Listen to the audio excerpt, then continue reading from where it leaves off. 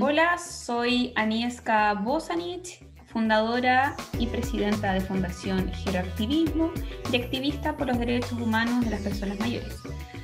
Las y los invito a encontrarnos este 5 de junio en Radio Cooperativa a las 11 de la mañana en el programa Piensa en Grande. 11 de la mañana. Piensa en Grandes. Una invitación del Hogar de Cristo y AFP Habitat.